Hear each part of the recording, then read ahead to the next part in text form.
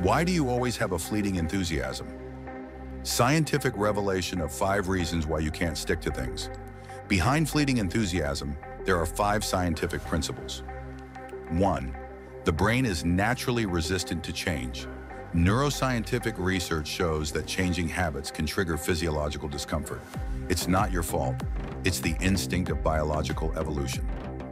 Two, setting too big a goal is likely to lead to failure. Start with small steps. Micro habits are the key to persistence. Three, lack of immediate feedback. The brain needs dopamine rewards. Set milestone rewards for yourself to trick the primitive brain.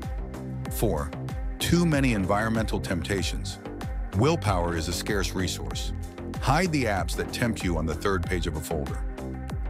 Five, it's too hard to stick to things alone. Find like-minded partners and the success rate will increase by 300%. Solitary struggle is doomed to fail. Learn to cooperate with your brain instead of fighting against it. After understanding these principles, sticking to things will become much easier. If you haven't paid attention to Mind Rabbit, perhaps we won't meet again. But if you have already followed, so congratulations to you. You are making progress every day.